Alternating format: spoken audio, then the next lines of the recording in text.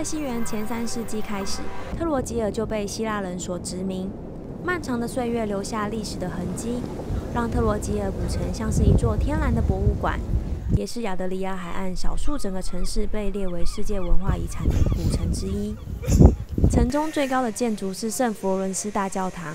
教堂钟楼是威尼斯式哥德风格建筑，是特罗吉尔处处可见的地标。城里的人不多，穿梭在狭窄的小巷子里，悠闲的漫步在古城中，真是不错的体验。